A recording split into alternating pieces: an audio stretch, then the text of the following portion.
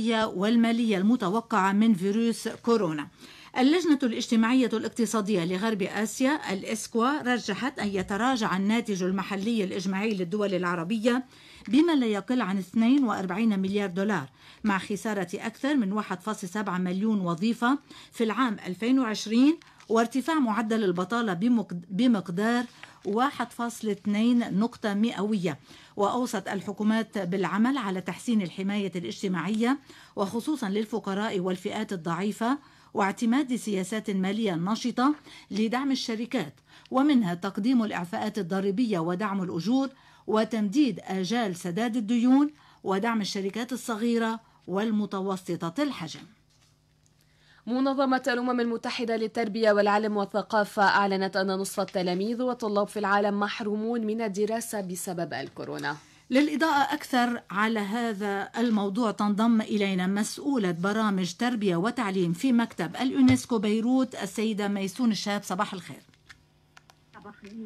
آه السيدة ميسون الشاب السؤال الطبيعي اليوم في ضوء آه الكورونا. ما الذي تعدل على الصعيد التربوي على الصعيد التربية خاصة في المنطقة العربية وخصوصا في لبنان؟ نعم آه كما ذكرت أكيد آه حسب إحصاءات اليونسكو نصف طلاب العالم اليوم هم خارج التعليم.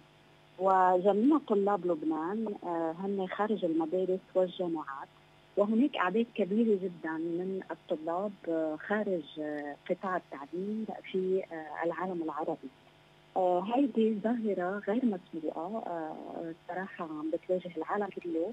وبتشكل تحدي كبير للعالم العربي لأنه هو اوريدي عالم مثقل بأزمات يعني متنوعة. اليوم وقت يكون الطلاب خارج التعليم يعني التوقف يعني التعلم يتوقف. وأكيد في حاجة كثير على موضوع الانتفاع من منصات التعليم الإلكتروني ولكن هناك عدم مساواة بالموضوع لأنه مش كل الطلاب عندهم القدره إنه يوصلوا لهذا النوع من التعليم. الموضوع اللي بيواجه الطلاب واللي هو أكثر آه، أهمية لهم هو إنه الطالب يعاني من عزلة اجتماعية حين وجوده بالبيت بظروف وباء. العزلة الاجتماعية اللي بيعاني منها الطالب بتأثر عليه وبتأثر على كيف هو رح يقدر يعني يتمم واجباته أو آه، يقدر إنه يقوم بعملية التعلم عن بعد إن كان من البيت أو غيره. آه، اللي بدي أقول لك اياه إنه بلبنان مثلا مثل بكل دول العالم مثل بالعالم العربي هناك مبادرات عديدة عم بتقوم فيها الدول لتتحدى لهيدي الظاهره. بلبنان أطلقت وزارة التربية ثلاث مسارات آه، ممكن آه، إنه آه، يكمل فيها الطالب عمليه التعلم. هناك مسار البث التلفزيوني وهو لطلاب الشهادات المتوسطة والبكالوريا. في تعلم عن طريق المنصات الإلكترونية لتامين تواصل تفاعلي. والمسار الثالث هو التواصل التقليدي يعني إيصال نسخة من المحتوى ورقيا إلى منازل الطلاب. نعم. ست آه هي نعم سؤال أنه بكل وسائل التواصل يلي عم بتعدديها فيها ضمانات اليوم ليبقى المستوى التربوي كما هو ولإجراء الامتحانات الرسمية كمان آه، بأقل يعني جو ممكن يكون منيح. هلا طبعا المستوى سيختلف آه، أكيد وما بنقدر نقول بالضبط لأنه هيدا الشيء يعني حالة طوارئ مستجدة. ولكن اليونسكو والدول يعني الوزارات بتتابع هذا الموضوع يوم بيوم وبترصد كيف عم بت عم بتكون عملية التعليم. هل قدمت هل قدمت اليونسكو شي برنامج عمل لوزارة التربية لاعتماده؟ اليونسكو تقدم لجميع الدول بالعالم العربي ومستعدة طبعا لتقديم مساعده لوزاره التربية في لبنان يعني الدعم اللي بتقدمه اليونسكو بيكون عن سياقات مختلفة آه، ممكن عن طريق المساعدة التقنية للإسراع بإيجاد حلول عملية وتعليمية بديلة وشاملة للجميع. آه، اليونسكو تقدم لجميع الدول شبكة من الممارسات اللي هي ذات الصلة لاتاحه نعم. تبادل الخبرات وطرح الأسئلة يعني نعم. آه، ممكن ما يقوم به آه، آه، بعض الوزارات في غير دول يفيد يعني هذه الممارسات تفيد دول أخرى نعم من و... من اتصالاتكم هل اداء إذا بدنا نقول الحكومة على الصعيد التربوي يرضي الوضع القائم؟ طبعا في في اهتمام كثير كبير من جميع الدول اللي عم نتعامل معها هناك حالة استنكار بكل الوزارات لتقديم ردود سريعة على هذا الموضوع خاصة أنه ما حدا بيعرف قد إيه هيدي الأزمة ممكن تطول يعني ممكن تأثر على العام الدراسي نعم. بشكل كامل وممكن تكون آنية يعني تخلص بعد شهر إن شاء الله هيك أكيد في حالة استنفار كبيرة و آه، في آه، يعني مبادرات لبنان مثلا إذا بدك أقول إنه لبنان من الدول السباقة بإيجاد الحلول آه، لهلا بالعالم. نعم. شكرا لمسؤولة برامج تربية وتعليم في مكتب اليونسكو بيروت ميسون إشهاب منظمة العمل الدولية لفتت إلى أن الكورونا قد يدمر ما يصل إلى 25 ألف وظيفة حول العالم إذا لم تتحرك الحكومات بسرعة لحماية العمال من التداعيات وقع الرئيس الأمريكي دونالد ترامب على مشروع القانون الخاص بمكافحة كورونا. وقال ترامب إنه سيتم استخدام كافه الموارد الحكومية لمواجهة انتشار فيروس كورونا بما في ذلك موارد الجيش الأمريكي مؤكدا أن بلاده احرزت تقدما في التجارب السريرية الخاصة بإنتاج لقاح طبي لمواجهة انتشار فيروس كورونا. وحذر حاكم ولاية كاليفورنيا الأمريكية من احتمال إصابة 60 ألف مشرد بفيروس الكورونا خلال الأسابيع الأسابيع المقبلة. بورصة نيويورك قررت إغلاق قاعة التداول مؤقتا والانتقال إلى التداول الإلكتروني بدءا من الاثنين المقبل بسبب الكورونا. السلطات الصحية في الصين أعلنت أنه لم يتم تسجيل أي إصابة محلية بفيروس كورونا أمس وبحسب لجنة الصحة الصينية فإن الصين لم تسجل سوى 34 حالة جميعها قادمة من خارج البلاد. وأظهرت الأرقام أن التفشي تحت السيطرة في ووهان بؤرة تفشي المرض ومقاطعة هوبي المحيطة بها.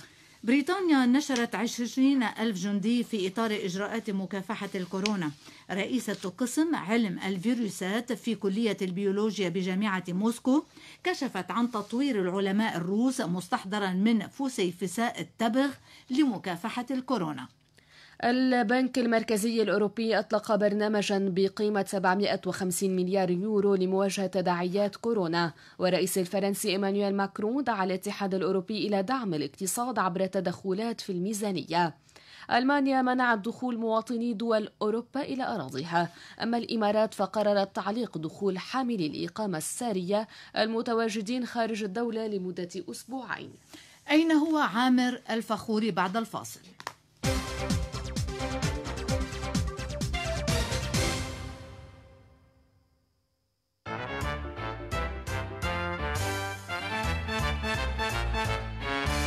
المصارف تفتح فروعها فهل لإتمام المعاملات والتحويلات أم ستشمل سحوبات العملاء؟ وكيف تحمي موظفيها من وباء الكورونا؟ وماذا عن مشروع قانون ال capital control؟ نقطة عالسطر يفتح الملف. مع رئيس نقابة موظفي المصارف أسد خوري ومداخلات للخبير الاقتصادي والمصرفي الدكتور نسيب غبريل. ولرئيس منظمة جوستيسيا الحقوقية الدكتور بول مرقص ومعنيين. الخميس بعد نشرة أخبار الثامنة والربع. مع نوال ليشع عبود عبر صوت لبنان.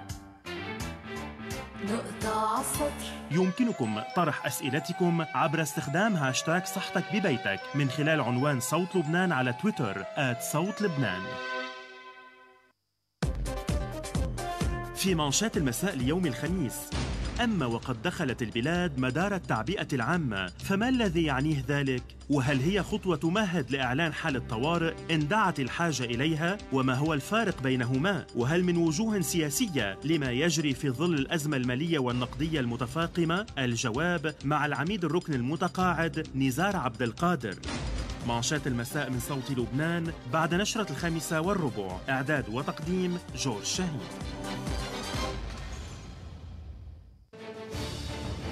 جولة سياسية اجتماعية في ساعة من العمر مع الدكتورة منى فياض. ماذا تذكر عن الضجة على مقالها أن تكون شيعيا اليوم؟ هلا أنا كنت عارفة إنه هالمقال منه رح يكون بسيط يعني بس ما كنت متوقعة إنه هالضجة طبعا وقتها طلبت تحكي معي CNN وأنا قلت لا إنه شو ما بدي أطلع أنا على CNN أحكي عن حزب الله يعني إنه كمان إنه هيدي الشغلة بتعرف كثير délicate. يعني بدي يكون مثل واحد آه، عم يفسد على جزء من وطنه. ساعة من العمر مع الدكتور شربل مارون الجمعة الواحدة والثلث. عبر صوت لبنان.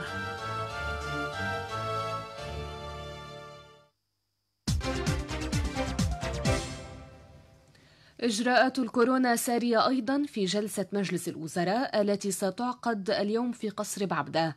وعلى الطاولة مشروع قانون ال capital control الذي أعدته وزارة المالية ويرمي إلى تنظيم ووضع ضوابط استثنائية مؤقتة على بعض العمليات والخدمات المصرفية.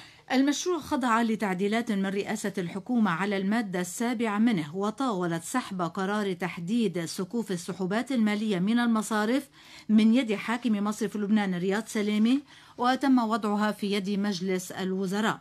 وتضع الحكومة في عهدتها بحسب التعديل تنظيم عملة غير عملتها بحيث تقرر سقوف السحوبات المسموحة للمودعين. هذا التعديل أثار مخاوف المصارف كما حاكم مصرف لبنان وحتى وزير المالية لأنه يتعرض لصلاحيات الحاكم والوزير فهو يضع القرار في يد السلطة السياسية متجاوزا ومخالفا صلاحيات المصرف المركزي واستقلاليته فضلا عن صلاحيات وزارة المال السلطة الوحيدة التي يخاطبها الحاكم ويقدم إليها أرقامه وميزانياته. أما في المادة العاشرة والمتعلقة بأحكام قروض التجزئة وبعدما كان النص السابق يقول أن على المصارف قبول تسديد الأقساط أو دفعات مستحقة بالعملات الأجنبية الناتجة عن قروض التجزئة بالليرة اللبنانية على أساس سعر الصرف الرسمي. أضيف إليها شرط ألا تتعدى القيمة المسددة بالليرة اللبنانية لمجموع الأقساط مبلغ المليون ليرة. وشهدت الساعات الماضية اجتماعات بين الثنائي الشيعي والتيار الوطني الحر لوضع تصور لتعديل واسع لمشروع ال capital control. وأبرز التعديلات التي طرحها رئيس مجلس النواب نبيه بري تتعلق بتعديل السقوف المنخفضة التي حددها المشروع الأول لجهة الطبابة في الخارج والعيش والدراسة. وكذلك سقف السحوبات بالعملة الأجنبية والليرة في الداخل. وأشار بري إلى أن موضوع ال capital control لن ينتهي أو يسري العمل فيه إلا بعد مروره في البرلمان.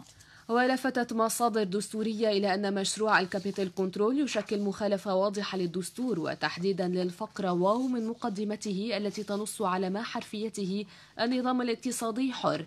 يكفل المبادرة الفردية والملكية الخاصة. وزير المالية غازي وزني لفت في حديث للسياسة الكويتية إلى أن هناك احتمالا كبيرا بأن يقر المجلس مشروع ال capital control مشددا على أنه يسعى إلى أن تأتي الصيغة النهائية للمشروع متناسبة مع متطلبات حماية حقوق المودعين وحمل رئيس جمعية المصارف سليم صفير القطاع العام وسوء إدارته مسؤولية ما وصلت إليه البلاد إلى أزمة نقدية. وأضاف في حديث إلى صحيفة الفاينانشال تايمز أنه من الأفضل ألا يتدخل السياسيون في العمل المصرفي وليكن ذلك من مسؤولية مصرف لبنان وليس السياسيين وأضاف أن السندات الحكومية بالعملات الأجنبية لدى المصارف كانت المصدر الوحيد للحصول على النقد الأجنبي فيما يواجه القطاع شحا بالسيولة وأشار إلى أن المصارف في لبنان استهلكت كل ودائعها لدى المصارف المراسلة وكانت بالتالي مجبرة على بيع سنداتها. وشدد على أن عمليات بيع السندات بالعملات الأجنبية بأسعار منخفضة كانت مكلفة جدا على القطاع المصرفي. الخبير الاقتصادي الدكتور أديب طعمة توقف عند التوقيت السيء لطرح ال capital control ورأى في حديث لصوت لبنان أنه بمثابة محاولة لتدمير الاقتصاد. أنا برأيي هيدي الطريق السهلة للخراب الاقتصادي بالبلد. أول شيء ال capital control القيود على الرأسمال القانون هلأ بظل حجر صحي حجر الكورونا وعزل الناس وما فيها تتحرك ولا شيء توقيته كتير غلط وكتير بخلينا نتساءل يعني نطرح أسئلة. بوقت كان بكل بلاد العالم الحكومات عم تعطي حوافز للاقتصاد. بتيجي هون الحكومة اللبنانية بتحط capital control على الناس. شو عم يعملوا بالاقتصاد؟ عم يقتلوا الاقتصاد كليا. يعني اللبناني يلي بابا عنده مصرياته صارت محجوزة بالمصارف بطل عنده شغله وبطل شغل فيه بالبلد. يعني بكل العالم بطل في شغل بسبب الكورونا بزيادة عن الانهيار الاقتصادي. شو بده يعمل؟ ما بقى في يعمل شيء. ما في إلا انتحار جماعي يعني انتحار اقتصادي جماعي. نعم. وهذا القانون بيجي اليوم بعد خمسة أشهر من capital control غير رسمي. عطى استنسابية للمصارف ما كان capital control كان طريقة لتهريب الرساميل يلي هي أدت للأزمة المالية. يعني يلي عندهم محسوبيات مع المصارف أصحاب الطبقة السياسية هربوا مصرياتهم وبقي هالمعطرين هون بالقطاع المصرفي يلي ما عندهم ولا شيء يعني حطوا لنا قانون حدثوا له مصرياتهم. نعم. دكتور طامي بتتوقع أنه هيدا مشروع القانون أن يمر بمجلس النواب بالتعديلات يلي رح يوصل فيه؟ يعني طريقة كيف انعمل وطريقة مجلس النواب كيف بيشتغل أوه. وطريقة السلطه السياسيه كيف تشتغل هن نفس الأشخاص. يعني هيدا سيناريو كرنفال رح يتمر هو نفسه مثل ما بدهم. يعني هيدا معمول لمصلحة الطبقة السياسية ولمصلحة المصارف مش لمصلحة الناس كيف يمكن الاعتراض عليه؟ هل يمكن الطعن فيه بعدين لاحقا؟ يعني الطعن بكل هالسيستم أنا رأيي يعني هالسيستم يلي بالآخر الناس بدها تسأل السؤال وين راحت مصرياتها وكيف راحت مصرياتها ومين المسؤول عن آه، اختفاء آه، آه، ودائع بالمصارف طالما ما ما ردينا على أسئلة كل شيء بينطعن فيه وكل شيء بيكون عم نخبي جريمة اللي انعملت بحق الشعب اللبناني سيرفع وزير الطاقة والمياه تقريرا عن تقدم سير عملية حفر البئر الاستكشافية الأولى في الرقعة النفطية رقم أربعة. كما سيبحث المجلس في بند يتطلب منح وزير الطاقة ريمو غجر التفويض بأن يبدأ مفاوضات من دولة إلى دولة مع عدد غير قليل من العواصم العالمية بغية الوصول إلى علاج لمسألة معامل الكهرباء. في غضون ذلك أزمة الكهرباء في دوامة خصوصا بعدما تراجعت الحماسة الألمانية والفرنسية والأمريكية للدخول في مشروع بناء محطات الكهرباء في لبنان ومطالبة الشركات في هذه الدول بضمانات مالية كبيرة من الحكومة اللبنانية ما يعني أن مشروع إطلاق العمل في بناء محطات كهرباء الآن بات متعذرا إلا في حال توجه الحكومة نحو الشرق بحثا عن حلول أخرى بحسب ما أوردت صحيفة الأخبار. رئيس مجلس النواب نبيه بري استغرب وضع سلعات في ملف إنشاء محطات الغاز على جدول أعمال مجلس الوزراء. قائلا البلد لا يبنى وفق المحاصصة المناطقية.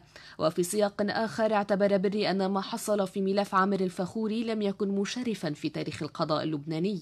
داعيا إلى التطلع والتدقيق جيدا في مدرجات القانون الأمريكي في تعاطيه مع العملاء. ولنطبق على الأقل نصفه حيال عملاء إسرائيل في لبنان. لا تزال قضية عامر الفخوري تتفاعل وسط لغط بشأن مكانه ومدى ارتباط الإفراج عنه بتجميد عقوبات أمريكية على عدد من الشخصيات اللبنانية غير الشيعية. وفي حين أوردت تقارير أنه غادر لبنان ذكرت صحيفة الشرق الأوسط أنه لم يغادر الأراضي اللبنانية بعد إصدار الحكم بوقف التعاقب بحقه الاثنين الماضي ثم تمييز الحكم الأول أول من أمس وإصدار قرار آخر يقضي بمنعه من السفر. وتسلمت محكمة التمييز العسكرية برئاسة القاضي طاني لطوف طلب التمييز المقدم من مفوض الحكومة لدى محكمة التمييز العسكرية القاضي غسان الخوري طعنا بالقرار الصادر عن المحكمة العسكرية بكف التعقبات عن الفخوري على أن يتم اتخاذ القرار من محكمة التمييز بإعادة المحاكمة. أفرج عن المواطن اللبناني إلي غباش بعد توقيفه لأكثر من سنتين بعد إدانته بارتكاب جرائم متصلة بفبركة ملفات التعامل مع إسرائيل لعدد من الأشخاص. أبرزهم الممثل المسرحي زياد عيتاني والتي أدت فيما بعد إلى توقيف المقدم في قوى الأمن الداخلي سوزان الحاج ومحاكمتها بالتدخل مع غبش بفبركة ملف عيتاني. إلا أن المحكمة العسكرية برأتها من هذه التهمة وحكمت بسجنها شهرين بجرم كتم معلومات عن طور تورط غبش في توريط الممثل المذكور فيما نال غبش حكما مخففا قضى بسجنه سنة واحدة. على الصعيد الدولي أعلنت وزارة الخزانة الأمريكية فرضها عقوبات على سبع شركات بتروكيمائية من بينها شركات في جنوب أفريقيا وهونغ كونغ لمساعدتها طهران في قطاعها النفطي. وأعلن وزير الخارجية الأمريكي مايك بومبيو فرض بلاده عقوبات على خمسة علماء في مجال الطاقة النووية الإيرانية بسبب ما وصفه باستمرار طهران في تحدي المجتمع الدولي بنشاطاتها النووية. ختام النشرة مع الأحوال الجوية.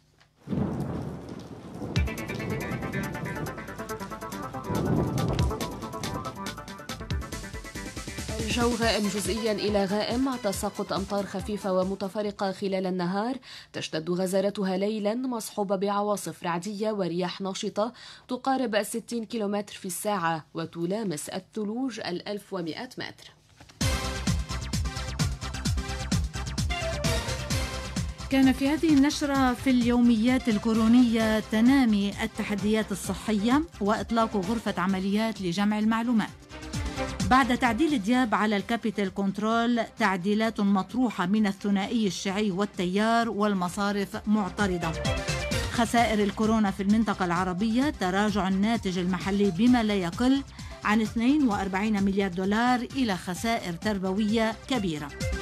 750 مليار يورو لمواجهة الكورونا في أوروبا وبورصة نيويورك إلى التداول الإلكتروني بدءا من الاثنين ولندن في آخر خبر عاجل تغلق 40 محطة مترو الأنفاق بدءا من اليوم. النشرة انتهت شكرا للمتابعة.